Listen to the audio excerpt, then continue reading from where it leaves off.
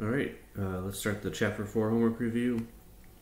So this assignment uh, covers a lot of topics as as uh, we saw in chapter four. There's um, you know VSEPR, which is the shape of molecules, and then there's um, a lot of topics about bonding, mainly uh, hybridization and molecular orbital theory. So it seems like a lot of potentially disconnected things, but the real theme is structure and bonding in covalent compounds. And this is going to be again sort of the last chapter that's purely conceptual for a while before we start moving into the more quantitative and numerical uh, aspects of the course. The average this week was 9.95 out of 10, so we're kind of staying in that 10 out of 12 range, which um, is perfectly fine. Remember, the, the points on homework assignments don't matter all that much to your grade. The important thing is that you're learning from them and doing them as, as, as practice, as we've talked about many times. All right, so let's get right into it. There were a few questions on um, you know, molecular structure VSEPR. Um, one thing to be aware of is if we say molecular structure, remember that we're talking about um, just the structure that the atoms themselves make up. So molecular structure ignores the lone pair. If we ask you about, um, or lone pairs, how many there are, if we ask you about electron group arrangement, um, in that case you have to consider where the lone pairs are arranged as well, and that's going to have fewer possibilities, but the molecular structure is determined um, also by how many lone pairs on the central atom you have. So the first one is the molecular structure of chlorine dioxide, ClO2. Um, so to do all of this, you do need a Lewis structure. So a lot of the things that we're going to talk about in today's review requires a Lewis structure to start. Um, I'm not going to go through all the Lewis structures in a lot of detail, um, but just to review the process for one of them. And this one is a little bit weird, as we'll see, because it does have an odd number of electrons, if you haven't dealt with before in Lewis structures. But we're still going to follow the same approach. We're going to count electrons first. So we have chlorine and oxygen. As we likely know by now from how many of these we've done, chlorine is a group 7 element, so it's going to contribute 7 valence electrons. Each oxygen from group 6 will contribute 6. So again, we use the group number on the periodic table to count electrons, and so there's going to be 7 from chlorine, and then from oxygen there's going to be 2 times 6, which is 12. So as we said, this is going to have 19 electrons, an odd number. So that may have caused a little bit of confusion at first. Odd number um, species are not always straightforward to deal with in Lewis structures, but we're still going to go forward with the process and, and, see what happens with it. So the process is still going to be exactly the same. We start with our center atom, which in this case is going to be chlorine. We do single bonds to each oxygen, and then we complete their octets first.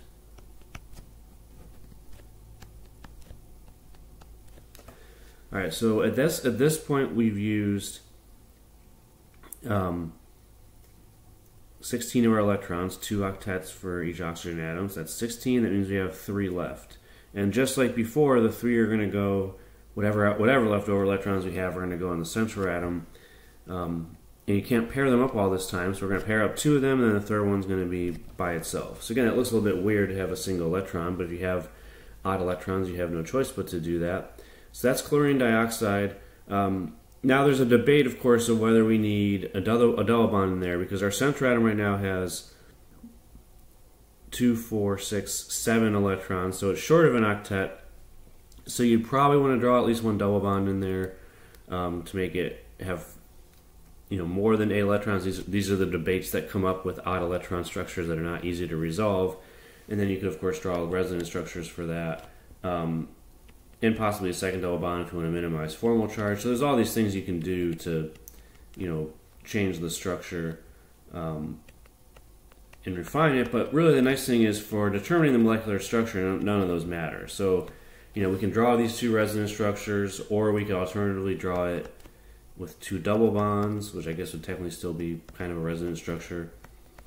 In this case, you have no formal charges, but you have to still, again, expand the octet on your central atom, which is fine. So there's a few different ways of drawing this, and as I said, with odd number of electrons and without specifying whether we want you to minimize formal charge, you don't know the best way to draw it, but you don't need to, because for determining the molecular structure, all that matters is how many electron groups are bonded to the central atom. It doesn't matter whether those electron groups are singly, doubly bonded, or some combination.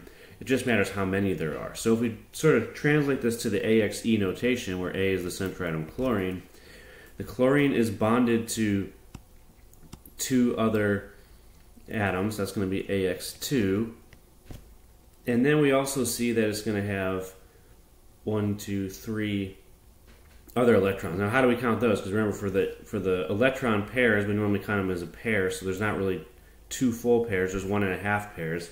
We have to count this still as AX2E2 um, because we can only put one pair of electrons into a single electron group. Remember, this is based on on orbitals. You can only put two electrons in an orbital. So those two electrons are going to be one electron group together, and then that third odd electron is going to have to count as a separate electron group because it cannot go into the same orbital as the first two. So this would be an AX2E2 structure, which makes it a bent geometry. And that's not any of these answer choices, so that would be none of these. Now you have to recall too that, you know, there's sometimes some shortcuts that can help you answer these questions quickly because you you know you've probably gone through some of these and for some of these problems like oh I have to draw a lot of Lewis structures and I have to get it correct and you know it takes a lot of time and, and especially in a, some of the future problems where we have multiple structures to consider in the same problem so look for things that can reduce your workload, that can that can help you solve the problem a lot faster. And one thing we should remember all the time is that you know just looking at the chemical formula without going through all the Lewis structure stuff that we just did, which is still good to do, but you don't have to in this problem because ClO2 is going to be AX2. There's two things on the central atom. We already know that from the formula. And then however many electron pairs we have, we don't we don't know at that point. But if it's AX2E whatever, remember the only two possibilities are linear or bent for molecular structure. Okay, so if you have an AX2 structure with however many lone pairs it ends up having, the only possibilities are linear or bent, and that's none of the answer choices. So in reality, we could have answered this question without even drawing the Lewis structure because linear and bent is not any of the choices.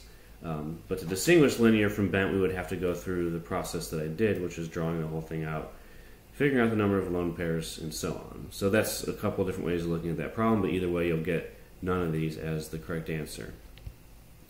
The next question deals with bond angles. So we want to know the bond angle in H2SE. Um, so again, we have to draw a Lewis structure, which I'm not going to do in great detail, but um, H2SE is going to look like this. It's going to complete the octet on all the atoms, except for, well, not for hydrogen, because it just has a single bond, but the central atom is going to have an octet and it's going to look like that. So a pretty simple structure, almost exactly like water, just with selenium instead of oxygen at the center. And so this structure is AX2E2. Now remember, for determining bond angles, we have to consider the electron group arrangement. Um, so the molecular geometry of this would also be bent. It's the same AXE notation as before. But with bent structures, to know the bond angles, you have to also consider which electron group arrangement it derives from. So if we have, in this case, a total of four electron groups, X2E2, that's going to belong to the tetrahedral electron group arrangement. And remember that the magic angle in tetrahedral, which is not obvious, but you need to remember it, is 109.5 degrees. So that's not exactly what it says 109.5, but choice D, 109 is closest. So if you have a bent structure, your, your options for bond angles, there's actually a few of them um, namely 120, 109.5. But for it to be AX2E2 with four electron groups, the bond angle is going to be close to 109 degrees.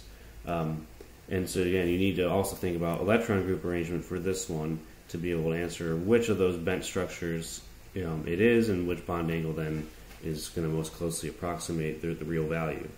Okay, so that's going to be how we would handle that one. It's, it's just a you know little extension on what we did in the previous one after determining the molecular structure. Now, the next thing we can do with molecular structure, sort of the next prediction we can make about molecules besides bond angles, is going to be whether they have a dipole moment or not. Um, so, if, if, something has a dipole moment, here we're looking for which of the following molecules has a dipole moment. Um, and this one is going to be another way of saying which of the following molecules is polar. All right, so those are two different ways of asking the same question. So if it's polar, it has a dipole moment. If it's nonpolar, it does not. And we talked in class about how we can classify the different structure types, again, based on their AXE notation, and for polarity in particular, how many electrons, how many uh, lone pair electrons the central atom has is particularly important. And by doing that, you can predict polarity. Um, So the first thing that you want to look at in problems like these are, you know, obvious nonpolar molecules where you don't even have to draw the structure. And the ones that are going to be obvious nonpolar molecules are going to be what we call polyatomic elements, where you just have the same element bonded to itself, especially the diatomic, where it's just, you know, so that's going to be things like H2, N2, P4, S8. Some of those we'll encounter in more detail later in the course and why they exist like this, but nonetheless, if you see an element, it's polyatomic, that has means it has more than one atom in the structure, but it's the same element bonded to itself. Those are going to be obviously nonpolar. You don't need to draw their structure or think about them any further, because in order for a molecule to be polar, to have a dipole moment, it needs to have polar bonds, and none of these have polar bonds. So if we're looking for the polar one, we can eliminate choice D right away. O2, oxygen just bonded to itself, cannot be polar because there's no dipole moment in that bond. But the rest of these we need to draw out Lewis structures and consider them. So for BH3, what we would get for the structure, again now I'm going to sort of skip a lot of steps and just go through it quickly. BH3 is going to be an AX3 E0 structure, and as we said in class, all the structures that have no lone pairs on the central atom are going to be nonpolar, particularly when all three outer atoms are the same. So this one would be nonpolar because there's no lone pairs on the central atom.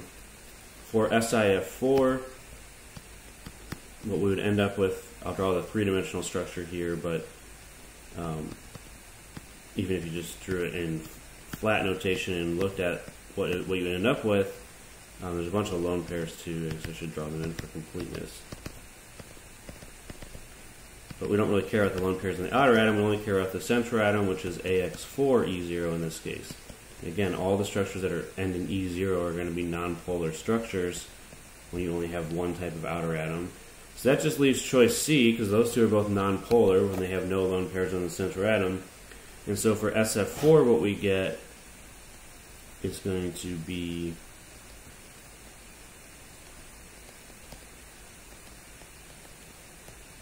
I won't draw the lone pairs on the outer atoms, but they are there. But just for looking at the structure, SF4, 1, 2, 3, 4, 5, 6 is going to be AX4E1. And for all the structures that are E1 that have a single lone pair on the central atom, they will be polar, no matter what the combination of central and outer atoms is. So all structures with a single lone pair are polar, so this would be the one that is polar out of these choices. Okay, so it's um, you know, helpful to think about the, the geometry and, and, sort of understanding why the dipole moments do or do not cancel out. But again, looking at the AXE notation, as we talked about in class, you can make some pretty simple predictions about polarity based on primarily how many lone pairs are in the central atom. So again, zero lone pairs in the central atom, that should cue you in that it's a nonpolar structure if all the outer atoms X are the same. If there's one lone pair in the central atom, it's definitely going to be polar. And then the ones that have two lone pairs or on the central atom, there's you know a few different possibilities, which we won't go through now, but you'll have to um, review that in the notes if, if that comes up. All right. And then this is a very similar question, almost identical, just a different set of molecules. So let's go through it again. So we know which of the following molecules has a dipole moment. Um, in this case, there's no obvious nonpolar molecules. Again, we're looking for the one that is polar if it has a dipole moment. Um, and there's no obvious ones here. We don't have any elements in these answer choices. These are all compounds. So we need to go through and draw all of them. And so for CH4, I won't draw the full three-dimensional structure this time, but if you draw the Lewis structure for CH4 and classify it, it's going to be AX4E0. And again, the ones that, have, that end in E0 that have no lone pairs in the central atom are going to be nonpolar, so we can cross that one out. CCl4 is the same, AX4E0. Um, and so that's going to be nonpolar as well, same electron group arrangement, just different outer atoms. And then CO2 is one of the first ones we did in class when we talked about polarity, is AX2E0. And that's going to be nonpolar as well, because there's no lone pairs in the central atom. So we get rid of those three pretty quickly. Now we have to decide if SO2 is or is not polar. Um, so SO2 would have 18 valence electrons, and the structure you would get should look something like this. Um,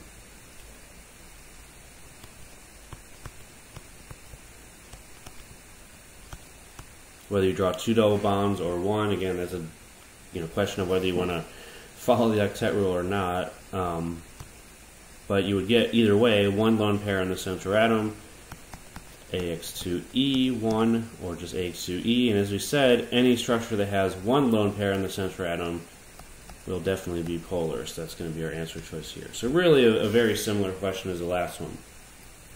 Now there is a bit of a shortcut you can also take on this one and on problems like it. So we remember we talked about you know the some of the and this is going to come up later on in this review too the patterns for you know different um, p block elements especially those 2p elements carbon oxygen nitrogen those ones and how many you know bonds and lone pairs they tend to have and so with carbon in almost every structure again there's a couple of exceptions to this but really um, for, for carbon I'll write it out as carbon here you're typically going to have you know, four bonds and zero lone pairs. The only exception I can think of, off the top of my head, that's a neutral molecule, and not an ion, is going to be CO, carbon monoxide, which is a triple bond. But in typical structures that involve carbon as a central atom, four bonds, zero lone pairs.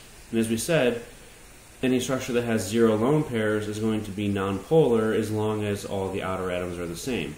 So if you look at A, B, and C, they have carbon at the center, they all have just one type of atom bonded to carbon, CH4, CCl4, CO2.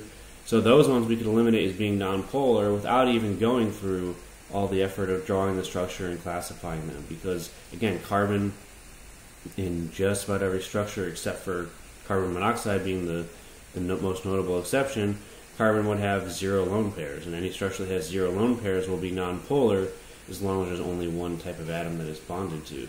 So we could have known those ones a little bit quicker because with carbon at the center, it's very rare for it to be polar unless there's two different atoms that carbon is bonded to. So we can save some time that way as well. All right, the next couple questions I'm going to go over deal with hybridization. Um, so we'll start with a reasonably simple one, which is O3. Um, and again, with a little bit of game theory in mind. So O3, we're going to have a central atom that's oxygen. And remember that oxygen is one of these 2p elements. It's before, you know, atomic number 10. And so for those elements, especially, you know, the, the four in this row, boron, carbon, nitrogen, oxygen, fluorine, remember that we can only have a maximum of eight electrons. So with oxygen at the central atom, or any of these ones, boron, carbon, nitrogen, oxygen, fluorine, if those are in your structure and you're asked about hybridization, these ones can have, remember, no more than eight valence electrons around them. And that means the only possible hybridizations are going to be sp, sp2, or sp3. In order to go to dsp3 or d2sp3, you have to expand the octet. We never do that for these elements, including oxygen, and so you cannot have dsp3 or d2sp3 hybridization. So we can eliminate D and E right off the bat. And I don't think any of you picked those, or very few of you picked those as the answer anyway, so you, you sort of picked up on that yourselves. But um, again, save yourself some time, give yourself a better chance of getting it right, even if you're not sure, by realizing that for 2p elements, ones that are before atomic number 10, the ones that cannot expand their octet, these are the only three possible hybridizations sp, sp2, sp3. But now we have to distinguish between those three to get this question right. So the Lewis structure for O2 is or sorry, O3 in this case, is a little bit weird. Um, but if you follow the, the approach that I gave you, what you should get is a Lewis structure like this. And you're going to end up with one lone pair on the central atom. In this case, you cannot draw two double bonds because you can't expand the octet on oxygen. Um, so what you actually end up having is, by necessity, formal charges, plus one and minus one, and then two equivalent resonance structures where you can move the double bond either side.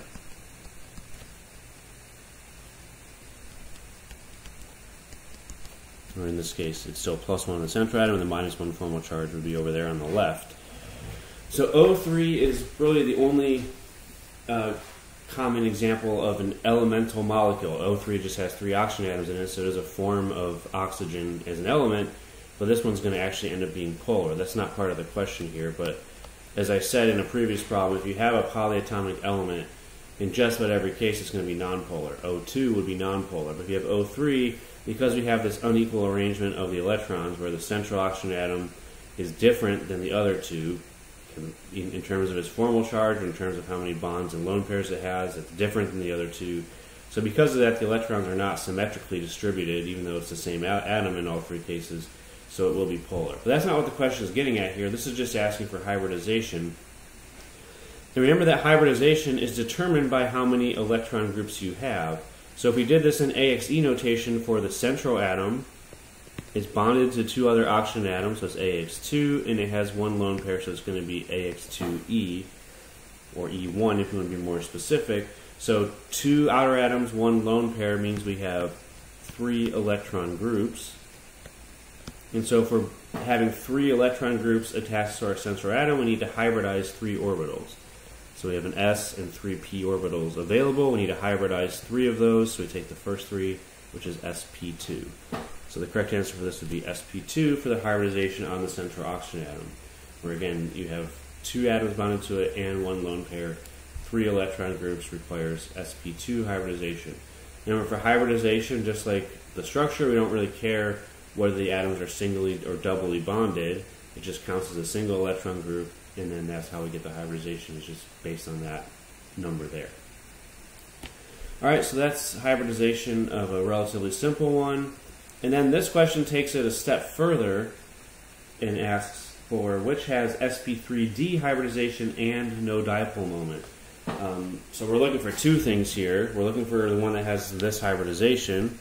Um, and in some sense, we're working a little bit backwards here. We're asking you for the hybridization. So sp3d means five electron groups, or a steric number of five, using the terminology I gave in class. Um, and then no dipole moment, again, means nonpolar. So we're looking for two things with these molecules here. Now there is one that we can eliminate because, as we said, these few 2p elements that are commonly found as central atoms, especially the first four, boron, carbon, nitrogen, oxygen, um, fluorine is not usually at the center, but it can be those ones are not, not going to have sp3d hybridization. They can only go as high as sp3. So we can eliminate choice B without having to consider it further. But the rest of these, the central atom, phosphorus, sulfur, bromine, phosphorus again, those are all beyond atomic number 10. So sp3d hybridization is a possibility for them. They don't have to have sp3d hybridization, but they can. So let's go through these, and again, we're going to do this quickly and just write out the Lewis structures without considering them. So for choice A, PCl3, what we're going to have is a Lewis, stru Lewis structure that has a single lone pair in the central atom. I mean, I'm going to draw the structure that's not going to give us really any useful information. So let's just write it out. So for PCl3, what you would get it's AX3, and then when you draw the Lewis structure, you get one lone pair on the central atom, E or E1. So this is going to be four electron groups. 3 plus 1 is 4, and that makes the hybridization sp3. We have to hybridize four orbitals. So that's not the correct hybridization. It's also polar, by the way, but so really for no, for neither of those can we choose choice A. If we go, we, we eliminated choice B because it cannot be sp3d hybridized. And then for C, D, and E, if we have SF4, we think we saw this one a little bit earlier. This is a pretty common structure we'll ask you about.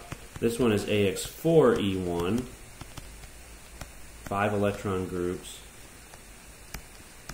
So that does make it sp3d or dsp3. You can write that in either way because there's five groups as we said, you need five electron groups to have sp3d hybridization, hybridizing five orbitals. Um, so that's the correct hybridization, but this one has a single lone pair on the central atom, so this one's going to be polar. All right, anything with one lone pair on the central atom is polar. We're looking for the one that's nonpolar as well, so we eliminate choice C. Correct hybridization, but it's polar. For choice D, BRF3 again, I'm skipping the Lewis structure, but you should draw it out yourself to convince yourself that um, you know that this is correct. You do need to be able to do Lewis structures quickly because on this problem, there's not really an obvious shortcut except for choice B, as we talked about. So you're going to have to draw the rest of the structures. BRF3 is going to end up as AX3E2. Make sure I get that right. So this also has five electron groups, which means it's the correct hybridization.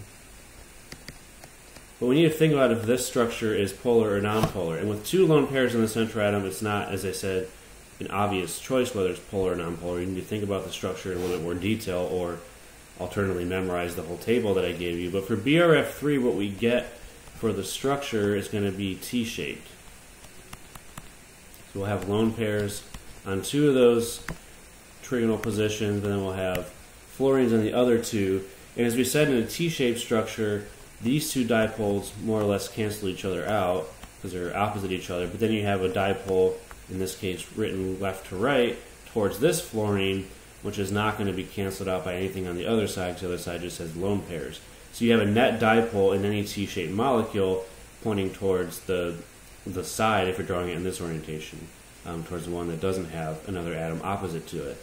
So in a T-shaped structure, you're going to get a dipole moment. So this one is also polar. As I said, for two lone pairs, you, there's not really one classification. It's polar or nonpolar, depending on which of those structures it actually is. But for AX3, E2, those would all be polar structures. So that one is out. So that means PCl5 better be the right one, so you've eliminated the, left, the rest. PCl5 is AX5, so that's five electron groups as well. AX5E0 if you want to be more complete. But there's no lone pairs on the central atom in this case. So that will be sp3d with five electron groups. And because there's no lone pairs on the central atom, as we said in previous problems, that makes the whole structure nonpolar when all the outer atoms are the same. So this is our correct answer. It has the correct hybridization and is nonpolar. Two of those other choices had the correct hybridization but were polar. Um, and it's the only one that's nonpolar and sp3d is PCl5. So there's a couple of ways you could have approached that problem. It depends on if you're more comfortable determining hybridization or determining polarity. You could, you know, determine the polarity first and then figure out, you know, of the ones that are nonpolar, which one is sp3d, or as I did here, you could determine the hybridization and then figure out if it's polar second. I mean, it really doesn't matter what order you determine those in, um, but you need to figure out both of those for this problem here. So it combines two of the previous concepts. So the next two problems are going to deal with this structure here, which is called tetracyanoethylene, and we gave you the skeleton structure. So remember, the skeleton structure just shows single bonds between all the atoms. It leaves out any multiple bonds that you might have, and it also leaves out the lone pairs. Um, and so we need to fill that in to be able to answer the questions here. Um, and so to do this, what we need to look at again is some patterns that come out of this. So these types of organic structures are going to have very often you know, these elements in them. I guess I should include hydrogen as well, um, even though I said, hydrogen is a very simple one. And then sometimes you'll have halogens, where that's going to be, again, fluorine, fluorine, etc.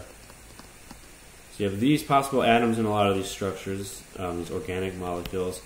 And 99% of the time, this is the pattern they're going to follow. Hydrogen, of course, only has one bond, nothing else. The rest of these want to have a complete octet, and they do that in different ways. So carbon will tend to have four bonds and zero lone pairs. Nitrogen will have three bonds and one lone pair to get its octet. Oxygen will have two of each.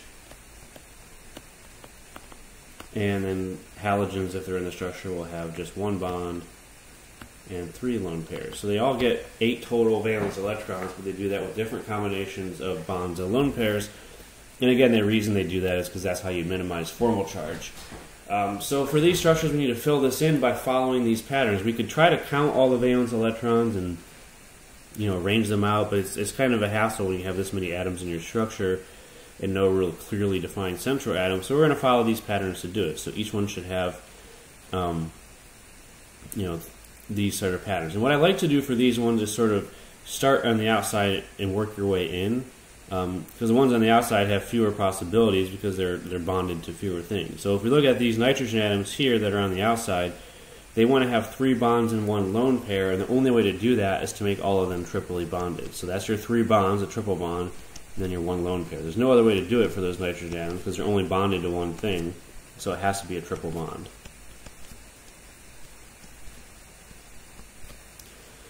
All right, and then we go to the carbon atoms that those are bonded to, and by putting that triple bond in, those carbon atoms already have four bonds. They have the three bonds to nitrogen in the triple bond, plus one bond to the internal carbons, And so those carbon atoms we don't do anything to anymore because they've already got their four bonds. And then for the central carbon atoms here, these two in the middle, they right now have three bonds shown, three single bonds to, to different carbon atoms. So they're going to need one more bond, which we're going to put in as a double bond. And the only place we can put it that would not mess up the other carbon atoms and give them too many bonds is right here. So if we put a double bond there, then we're going to have these two carbons also having four bonds, two to each other, plus two more to the outside carbon atoms. If we, put, if we try to put double bonds anywhere else, we're going to end up with five bonds to one of those carbons. A carbon with five bonds is called a Texas carbon, but it doesn't really exist in real life, so we don't want to do that. Okay, so those are going to be that's going to be the final structure then. And here we're looking for how many atoms are sp hybridized. Um, and so for sp hybridization, you're, you're again looking for things that have two electron groups. Oops, sorry.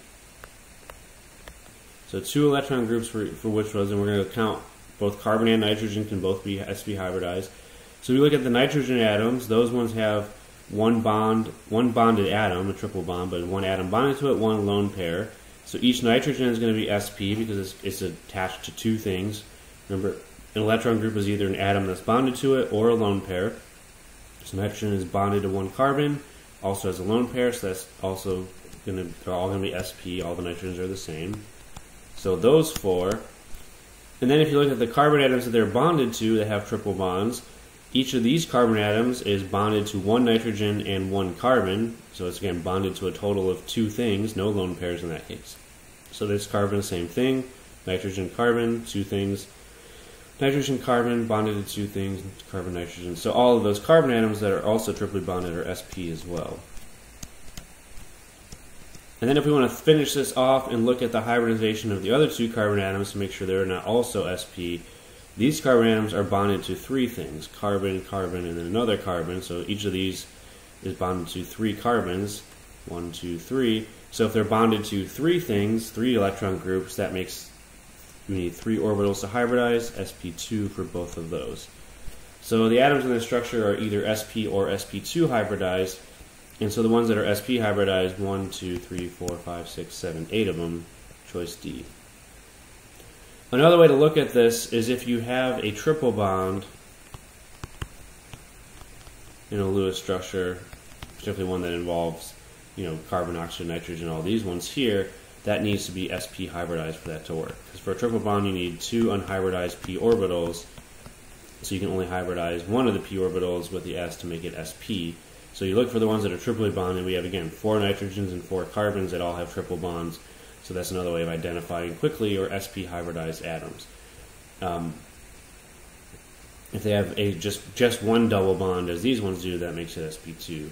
Um, so there's uh, a couple ways looking at that one as well. The next structure deals with the same. Sorry, the next question deals with the same structure, but this time we're looking for how many sigma and pi bonds there are. Um, so for that, we also need to fill out the structure. For getting the number of sigma bonds, you can use the skeleton structure and just look at, you know, how many bonds between atoms without thinking about the um, without thinking about whether they're single, double, or triple, because every every bond, whether it's single, double, or triple, is going to have one sigma bond involved. So if we look at this structure, we count the number of bonds: one, two, three, four, five, six, seven, eight, nine. That means there should be nine sigma bonds. All right, because there's nine total bonds in the molecule. We haven't yet determined if they're single, double, or triple. But whether they're single, double, or triple, each bond is going to involve one sigma bond. So a total of nine of those bonds that means 9 sigma is correct. So we can quickly, if we, if we trust ourselves, we can eliminate a few answer choices. Only the ones with 9 sigma bonds are going to be ones that we need to consider. Um, but to get the rest of this, figure out how many pi bonds there are, we do need to go through and finish out the structure like we did before. So as we saw, we get triple bonds there. And double bond there. So looking at the bonds in this structure, we don't care about the lone pairs anymore, but we do care about the bonds. Remember, each bond is going to be, if it's it's going to have one sigma bond, and the rest, if it's a multiple bond, will be pi. So for these triple bonds here, we have one sigma bond and two pi for each of those triple bonds, 1 sigma and 2 pi.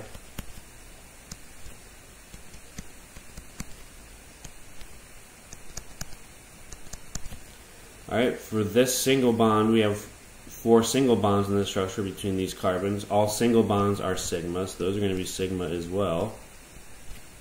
And then our double bond here is going to be a sigma bond and a pi bond. Remember, anytime you have multiple bonds, it's one sigma, the rest pi.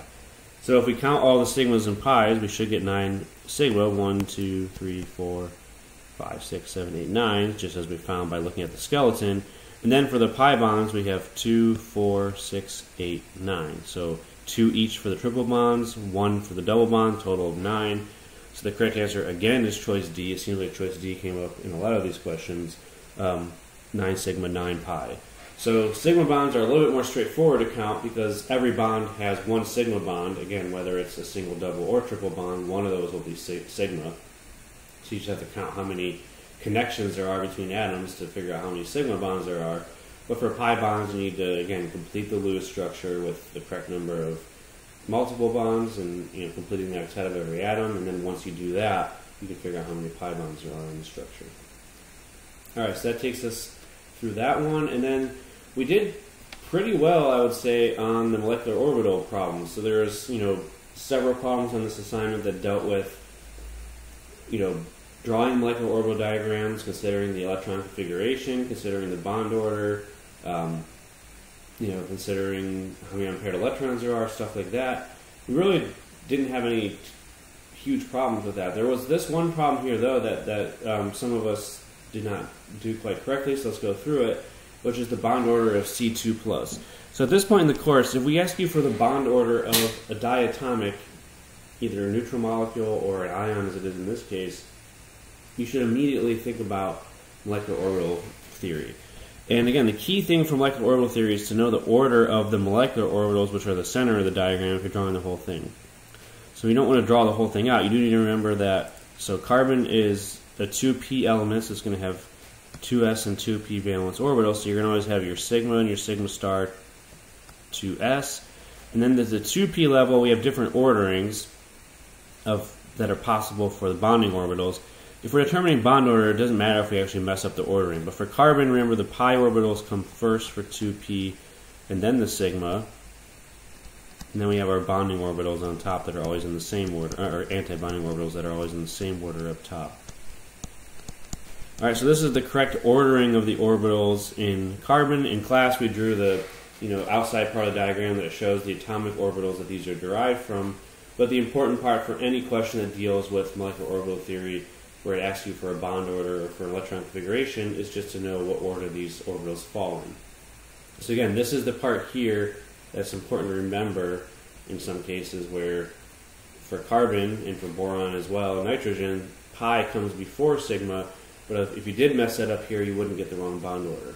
But what we need to figure out for to get the bond order is how many valence electrons we have. So carbon is group 4, so C2 would have 2 times 4 valence electrons, which is 8, but it's C2 plus, we have to remove one for the positive charge. So we're going to have a total of 7 valence electrons in this structure. And as we said, if you're drawing Lewis structures with odd number of electrons, it's sometimes hard to do, it's sometimes hard to get the bond orders correct. But with molecular orbital theory, we just need to fill in 7 electrons, lowest energy to highest energy, um, in that order. So 1, 2, 3, 4, 5, 6, 7. So it's odd number, so it has one unpaired electron, of course, and that unpaired electron is here in the pi 2p. And then to calculate the bond order, we just need to do this simple formula here. So it's 1 half, and then we're going to take the number of electrons that are in bonding orbitals first. Those are orbitals that do not have stars next to them. So we have these two electrons in sigma 2s, and we have 1, 2, 3 electrons in pi 2p. So 5 of our 7 electrons are in bonding orbitals, 2, 4, 5. And the other two of our seven electrons would have to be antibonding. That's going to be those two that are in sigma star 2s. So it's going to be 1 half times 5 minus 2, which is going to be 1.5 or 1.5, as it's written here. Alright, so we get a fractional bond order anytime we have an odd number of electrons, and the correct fractional bond order is going to be D. And again, you could have saved yourself some time here because if you have an odd number of electrons, your bond order has to be a fraction, so we could have eliminated A, C, and E before we even started, and then that leaves us with two possible answer choices. So thinking a little bit about some of those patterns, in this case the number of electrons being odd makes the bond order fractional, you can eliminate three answer choices, and even just by guessing, you have a 50% chance of getting it right. But again, once you draw the diagram, you can calculate the bond order very easily, and it comes out in this case to 1.5, and that's the answer you would pick. All right, that takes me to the end of that review. Um, so if you have any uh, other questions on this assignment, please get in touch with me, um, and then we'll be back next week with, with the first of the two Chapter 5 assignments. All right, I'll see you guys in class this week, and, and have a good rest of your day.